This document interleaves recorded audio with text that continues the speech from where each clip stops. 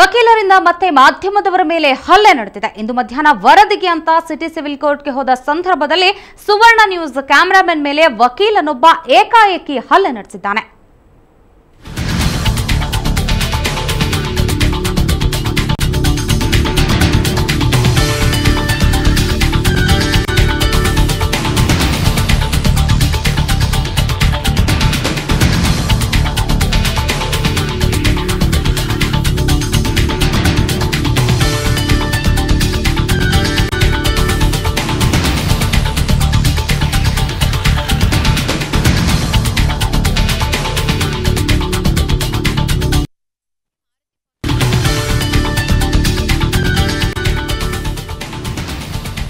ವಕೀಲರಿಂದ ಮತ್ತೆ ಮಾಧ್ಯಮದವರ ಮೇಲೆ ಹಲ್ಲೆ ನಡೆದಿದೆ. ಇವತ್ತು ಮಧ್ಯಾಹ್ನ ವರದಿಗೆ ಅಂತ ಸಿಟಿ ಸಿವಿಲ್ ಕೋರ್ಟ್ಗೆ ಹೋದ ಸಂದರ್ಭದಲ್ಲಿ ಸುವರ್ಣ ನ್ಯೂಸ್ ಕ್ಯಾಮರಾಮನ್ ಮೇಲೆ ವಕೀಲನೊಬ್ಬ ಏಕಾಏಕಿ ಹಲ್ಲೆ ನಡೆಸಿದ್ದಾನೆ.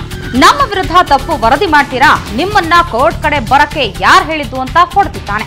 ಅಲ್ಲದೆ ಅವಾಚ್ಯ ಶಬ್ದಗಳಿಂದ ನಿಂದಿಸಿದ್ದಾನೆ.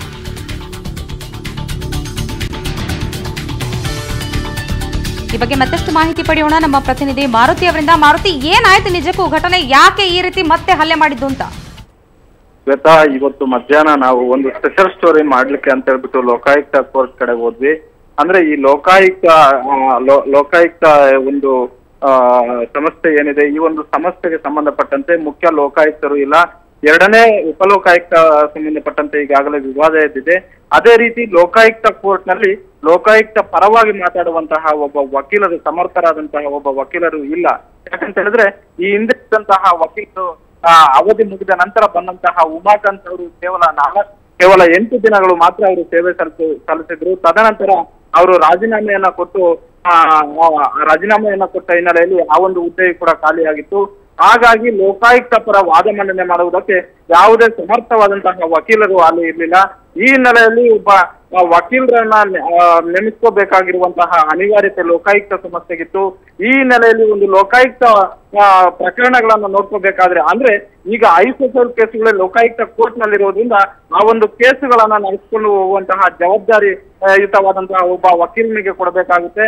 ಹಾಗಾಗಿ ಆ ಒಂದು ಆ ಒಂದು ವಿಷಯಕ್ಕೆ ಸಂಬಂಧಪಟ್ಟಂತೆ ನಾನು ಒಂದು ವಿಶೇಷ ಸುದ್ದಿಯನ್ನ ಮಾಡ್ಬೇಕು ಅಂತ ಹೇಳ್ಬಿಟ್ಟು ಹೋದೆ. ಅಂತಹ ಸಂದರ್ಭದಲ್ಲಿ ಬೆಂಗಳೂರು ವಕೀಲರ ಸಂಘದ ಎ ಪಿ ರಂಗನಾಥ್ ಅವ್ರಿಗೆ ನಾನು ನಾನು ಕರೆ ಮಾಡಿದೆ.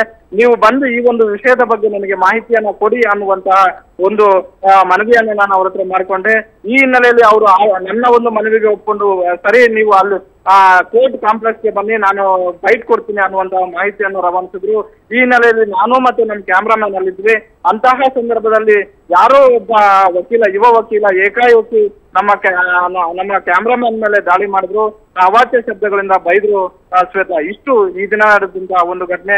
ಒಟ್ಟಿನಲ್ಲಿ ಮಾಧ್ಯಮದವರು ಈ ಹಿಂದೆ ನಮ್ಮ ವಿರುದ್ಧ ಬಹಳಷ್ಟು ಕೆಟ್ಟದಾಗಿ ಬರೆದಿದ್ರು ಅನ್ನುವಂತಹ ಒಂದು ಮಾತನ್ನ ಹೇಳ್ತಾ ಇದ್ರು ಅವರು. ಆದ್ರೆ ಇಲ್ಲಿ ಅವರು ಮಾಡಿದ್ದು ಏನು ಅನ್ನುವುದು ಬಹಳಷ್ಟು ಮುಖ್ಯ ಆಗುತ್ತೆ. ಯಾಕಂತ ಹೇಳಿದ್ರೆ ನಾ ಮಾಧ್ಯಮ, ಮಾಧ್ಯಮಗಳು ಇಂದು ಯಾವ ರೀತಿಯ ಕೃತ್ಯ ಮಾಡ್ತಿದ್ದಾವೆ, ಅದೇ ರೀತಿ ವಕೀಲರು ಯಾವ ರೀತಿ ಕೃತ್ಯ ಮಾಡ್ತಿದ್ದಾರೆ ಅನ್ನೋದು ಈ ಒಂದು ಘಟನೆಯಿಂದ ಬಹಳಷ್ಟು ಸ್ಪಷ್ಟವಾಗುತ್ತೆ. ಮಾರುತಿ, ಧನ್ಯವಾದ ಎಲ್ಲ ಮಾಹಿತಿಗಾಗಿ. ಈ ಬಗ್ಗೆ ಮಾತನಾಡುವುದಕ್ಕೆ ಹಲ್ಲೆ ಕುಳಕಾತ ಕ್ಯಾಮರಾಮನ್ ಪ್ರಸಾದ್ ನಮ್ಮ ಜೊತೆ ದೂರವಾಣಿ ಸಂಪರ್ಕದಲ್ಲಿದ್ದಾರೆ. ಪ್ರಸಾದ್, ಏನಾಯ್ತು? ಯಾರ ವಕೀಲ ಅಂತ? ಮೇಡಮ್ ವಕೀಲರು ಯಾರು ಅಂತ ನಮ್ಗೆ ಅಷ್ಟು ಗೊತ್ತಿಲ್ಲ ಮೇಡಮ್. ಆದ್ರೆ ನಾವು ಶೂಟಿಂಗ್ ಅಂದ್ರೆ ಸಿವಿಲ್ ಕೋರ್ಟ್ ವಿಜಲ್ಸ್ ಗಳೆಲ್ಲ ತಗೊಂಡು ಈ ಕಡೆ ನಿಂತ್ಕೊಂಡು ನಾನು ಮಾರುತಿ ನಿಂತ್ಕೊಂಡಿದ್ವಿ. ಅವ್ರು ವಕೀಲರು ಬರ್ತಾರೆ ಅಂತ. ಅವರು ಈ ಕಡೆ ಬರಲ್ಲ ಆ ಕಡೆ ಬರ್ತಾರೆ ಸ್ವಲ್ಪ ನಾವು ಆ ಕಡೆ ಮೂವ್ ಆಗಕ್ಕೆ ಅಂತ ಹೋಗ್ತಾ ಇದ್ವಿ. ಅಷ್ಟರಲ್ಲಿ ಇವರು ಬಂದಿದೆ ಏಕ್ದಮ್ ಬಂದಿದೆ. ನೀವು ನಮ್ಮ ವಕೀಲರನ್ನ ರೋಡಿಗಳು ಅದು ಇದು ಮಾಡ್ತೀರಾ ಅಂದ್ಬಿಟ್ಟು ಅವಾಚ್ಯ ಶಬ್ದದಿಂದ ಬೈದ್ರು. ಬೈದ್ಬಿಟ್ಟು ಇಟ್ಕೊಂಡಿದೆ ಹೊಡೆದ್ರು ಮೇಡಮ್. ಅಲ್ಲ ಯಾವ ಕಾರಣಕ್ಕಾಗಿ ಅಂತ ಏನ್ ಕೇಳಿದ್ರ ನೀವು? ಅದೇ ಮೇಡಮ್ ವಕೀಲರ ಬಗ್ಗೆ ಎಲ್ಲ ಈ ತರ ಎಲ್ಲ ನೀವು ಟಿವಿಲೆಲ್ಲ ಹಾಕಿದಿರಲ್ಲ ಅಂದ್ಬಿಟ್ಟು ಅವರು ಆ ಇದಕ್ಕೆ ನಮ್ಗೆ ಇದ್ ಮಾಡಿದ್ರು ಮೇಡಮ್. ಇವ್ರಿಗೇನ್ ಇವ್ರಿಗೇನ್ ಆಗಿತ್ತಂತ ಇವ್ರು ಯಾವ ಇದು ಯಾವ ವಿಧದಲ್ಲಿ ಅಂದ್ರೆ ನೀವು ಮಾಡೋ ವರದಿಗೆ ಏನಾದ್ರೂ ಸಂಬಂಧಪಟ್ಟಿದ್ದವ್ರಾಗಿದ್ರ ಇವರು ಹೇಗೆ ಅಂತ? ಅಲ್ಲ ಇಲ್ಲ ಮೇಡಮ್. ಇದು ನಾವು ನಾವು ಮಾಡೋದಕ್ಕೂ ಇದು ಅವ್ರದ್ದು ಏನಿಲ್ಲ ಮೇಡಮ್. ಇದು ಏನಕ್ಕೆ ಅಂದ್ರೆ ಏಕ್ದಮ್ ಬಂದಿದೆ ಅವರು ಎರಡು ಮಾತಾಡಕ್ಕೂ ಬಿಟ್ಟಿಲ್ಲ ಮೇಡಮ್. ಹಿಡ್ಕೊಂಡು ಹೊಡೆದ್ಬಿಟ್ಟು ಆಮೇಲೆ ಕ್ಯಾಮ್ರಾ ಕಿತ್ಕೊಂಡು ಹೊಡೆಯಕ್ ಹೋದ್ರು. ಅದನ್ನ ಮುರಿಯಕ್ ಹೋದ್ರು. ಅದನ್ನ ಮುರಿಯಕ್ ಬಿಡ್ತೀರಾ ಮುಂದೆ ಬಂದೆ. ಆದ್ರೂ ಅವರು ಹಿಂದ್ಗಡೆಯಿಂದ ಏಕ್ದಮ್ ಕಾಲಲ್ಲಿ ನಾಲ್ಕೈದು ಸಲ ಹೋದ್ರು ಮೇಡಮ್. ಈಗ ಹೇಗಿದ್ದೀರಿ ನೀವು? ಇವಾಗ ಏನಿಲ್ಲ ಮ್ಯಾಮ್ ಬೆನ್ನೋವು ಇದೆ ಮೇಡಮ್ ಅಷ್ಟೊಂದು ಅಲ್ಲ ಕ್ಯಾಮ್ ಕ್ಯಾಮ್ರಾ ಈ ಚಿತ್ರೀಕರಣ ಮಾಡೋದಕ್ಕೂ ಅಡ್ಡಿ ಬರ್ತಾ ಇದ್ರ ಹೇಗೆ ಅಂತ. ಅಂದ್ರೆ ನನ್ ಚಿತ್ರೀಕರಣ ಅಂದ್ರೆ ಮೇಡಮ್ ಬೈಟ್ಗೋಸ್ಕರ ನಾವು ಅಲ್ಲಿ ವೇಟಿಂಗ್ ಮಾಡ್ತಾ ಇರೋದ್ರಿಂದ ನಾನೇನು ಮಾಡ್ತಾ ಇರಲಿಲ್ಲ.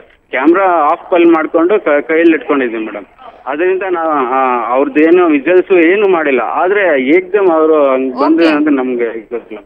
ಓಕೆ ಈಗ ವಕೀಲರಾದ ಶಂಕರಪ್ಪ ಅವರು ದೂರವಾಣಿ ಸಂಪರ್ಕದಲ್ಲಿದ್ದಾರೆ. ಶಂಕರಪ್ಪ ಅವರೇ ನೀವೇನ್ ಹೇಳ್ತೀರಿ? ಪದೇ ಪದೇ ರೀತಿ ವಕೀಲರು ಮಾಧ್ಯಮದವರ ಮೇಲೆ ಹಲ್ಲೆ ಮಾಡ್ತಿರೋದು.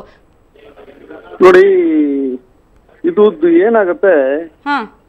ಯಾರೋ ಮಧ್ಯದಲ್ಲಿ ಇದು ವಕೀಲರಿಗೂ ಮತ್ತು ಪತ್ರಕರ್ತರ ಮಧ್ಯೆ ಏನೋ ಉಣ ಮಂಡುವಂತ ಪ್ರಯತ್ನಗಳೆಲ್ಲೋ ನಡೀತಾ ಇದಾವೆ ಅಂತಕ್ಕಂಥದ್ದು ನನ್ನ ವೈಯಕ್ತಿಕ ಅಭಿಪ್ರಾಯ. ಯಾಕಂದ್ರೆ ಸರ್ಕಾರದ ನಾಲ್ಕನೇ ಅಂಗದ ಸಾಕಷ್ಟು ಸಾಮಾಜಿಕ ಜವಾಬ್ದಾರಿ ಪತ್ರಕರ್ತರ ಮೇಲೆ ಇರ್ತದೆ ಜೊತೆಗೆ ವಕೀಲರ ಮೇಲೂ ಇರ್ತದೆ.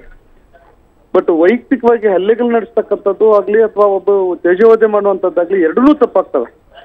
ಸೊ ಈ ಸಂದರ್ಭದಲ್ಲಿ ಯಾವುದೇ ಕಾರಣಕ್ಕೂ ಸಹ ಪ್ರಚೋದನೆಗೊಳಪಟ್ಟು ಒಳಪಟ್ಟು ಒಬ್ರಿಗೊಬ್ರು ತೀಕ್ಷ್ಣತೆಯನ್ನು ಒಬ್ರಿಗೊಬ್ರು ತೆಜವಧೆ ಮಾಡ್ಕೊಂತದ್ದು ಒಬ್ರಿಗೊಬ್ರು ಹಲ್ಲೆ ಮಾಡ್ಕೊಂತದ್ದು ಅದು ಸರಿಯಾದ ಒಂದು ಸರಿಯಾದ ಒಂದು ನಡವಳಿಕೆ ಅಲ್ಲ ಅಂತಕ್ಕಂಥದ್ದು ನನ್ನ ವೈಯಕ್ತಿಕ ಅಭಿಪ್ರಾಯ. ಸೊ ಇದಕ್ಕೆ ಅಂದ್ರೆ ಕಾರಣ- ಇಂಥದಕ್ಕೆ ಕಡಿವಾಣ ಹಾಕಬೇಕಾದಂತ ಅವಶ್ಯಕತೆ ಇದೆಯಲ್ವಾ ಶಂಕರಪ್ಪ ಅವರಿಗೆ? ಅದಕ್ಕೆ ಇದು ಎಲ್ಲ ಎಲ್ಲದಕ್ಕೂ ಕಡಿವಾಣ ಹಾಕಬೇಕಾದಂತ ಅವಶ್ಯಕತೆ ಖಂಡಿತವಾಗ್ಲೂ ಹೇಳ್ತೀನಿ. ಈ ತರದ ಈ ತರದ ಘಟನೆಗಳು ನಡೀಬಾರ್ದು. ಯಾಕಂದ್ರೆ ಆ ಘಟನೆಗಳು ಹಿಂದೆ ಇರ್ತಕ್ಕಂತ ಒಂದು ಉದ್ದೇಶವನ್ನ ನಾವು ಖಂಡಿತವಾಗ್ಲೂ ನೋಡ್ಬೇಕಾಗ್ತದೆ. ಏನಾಗ್ತಾ ಇದೆ? ಏನು ಯಾಕೆ ಇವತ್ತಿನ ದಿವಸ ಈ ತರ ಸಮಸ್ಯೆಗಳು ಉದ್ಭವ ಆಗ್ತಾ ಇದಾವೆ ಇವತ್ತಿನ ದಿವಸ. ಯಾಕೆ ಪತ್ರಕರ್ತರಿಗೂ ಮತ್ತು ವಕೀಲರ ಮಧ್ಯೆ ಯಾಕೆ ದೂರ ಅಂತರ ದೂರ ಆಗ್ತಾ ಇದೆ ಅಂತಕ್ಕಂಥದ್ದನ್ನ ನಾವು ನಿಜವಾಗ್ಲೂ ಗಂಭೀರವಾಗಿ ಪರಿಗಣಿಸಬೇಕಾಗ್ತದೆ. ಬಟ್ ಇದರ ಗಂಭೀರತೆ ಹಿಂದೆ ಯಾರು ಉದ್ದೇಶಪೂರ್ವಕವಾಗಿ ಈ ತರ ಪ್ರಚೋದನೆಗೆ ಒಳಪಡಿಸ್ತಾ ಇದಾರೆ ಅವ್ರಿಗೆ? ವಕೀಲರನ್ನ ಉದ್ದೇಶಪೂರ್ವಕವಾಗಿ ಪ್ರಚೋದನೆಗೆ ಏನಾದ್ರು ಒಳಪಡಿಸ್ತಾ ಇದಾರ ಅಥವಾ ವಕೀಲರು ಮತ್ತು ಪತ್ರಕರ್ತರ ಮಧ್ಯೆ ಅಂತರವನ್ನ ಜಾಸ್ತಿ ಮಾಡುವಂತ ಉದ್ದೇಶದಿಂದ ಯಾರೋ ಒಂದು ಕೈವಾಡ ಶಕ್ತಿ ಒಂದು ಪ್ರಯತ್ನ ಮಾಡ್ತಾ ಇದೆಯಾ? ಸೊ ಈ ಬಗ್ಗೆ ನಾವು ಯೋಚನೆ ನಾವಿಬ್ರು ಸಹ ಕೂತು ನಾವು ಯೋಚನೆ ಮಾಡ್ಬೇಕಾಗ್ತದೆ. ಮತ್ತು ನಾವು ಇದನ್ನ ಇಬ್ರು ಸಹ ಮುಂದುವರಿಸ್ಕೊಂಡು ಹೋಗೋದ್ರಲ್ಲಿ ಅರ್ಥ ಇಲ್ಲ ಅಂತಕ್ಕಂಥದ್ದು ನನ್ನ ವೈಯಕ್ತಿಕ ಅಭಿಪ್ರಾಯ. ಓಕೆ ಶಂಕರಪ್ಪ ಅವರೇ ಸುವರ್ಣ ನ್ಯೂಸ್ ಜೊತೆ ಮಾತನಾಡಿದಕ್ಕಾಗಿ ಧನ್ಯವಾದ. ಒಟ್ಟಾರೆ ಇವತ್ತು ಮತ್ತೊಮ್ಮೆ ಮಾಧ್ಯಮದವರ ಮೇಲೆ ವಕೀಲರ ಯುವ ವಕೀಲನೊಬ್ಬ ಹಲ್ಲೆ ನಡೆಸಿದ್ದಾನೆ. ವರದಿಗಾರಿಕೆ ಮಾಡೋದು ವರದಿಗಾರನ ಅಭಿವ್ಯಕ್ತಿ ಸ್ವಾತಂತ್ರ್ಯ. ಹೀಗಾಗಿ ಕಾನೂನನ್ನ ರಕ್ಷಿಸಬೇಕಾದ ಇಂಥವರೇ ಕಾನೂನನ್ನ ಕೈಗೆ ತೆಗೆದುಕೊಂಡ್ರೆ ಹೇಗೆ? ಒಬ್ರನ್ನೊಬ್ರು ಆರೋಪ ಮಾಡೋದಕ್ಕೂ ಬದಲು ಈ ರೀತಿ ಒಂದು ಸೌಹಾರ್ದ ಸಂಬಂಧ ಇರಬೇಕು. ಇಂಥದ್ದಕ್ಕೆ ಇಂಥ ಘಟನೆಗಳನ್ನ ಗಂಭೀರವಾಗಿ ಪರಿಗಣಿಸಿ ಇದಕ್ಕೆ ಕಡಿವಾಣ ಹಾಕಬೇಕು ಅನ್ನುವಂಥ ಮನವಿ ಕೂಡ ಇಲ್ಲಿ ಆಗಿದೆ. ಇದಿಷ್ಟು ಈ ಹೊತ್ತಿನ ಪ್ರಮುಖ ಸುದ್ದಿ. ಕ್ಷಣ ಕ್ಷಣದ ಸುದ್ದಿಗಾಗಿ ನೋಡ್ತಾ ಇರಿ ಸುವರ್ಣ ಸುದ್ದಿವಾಹಿನಿ.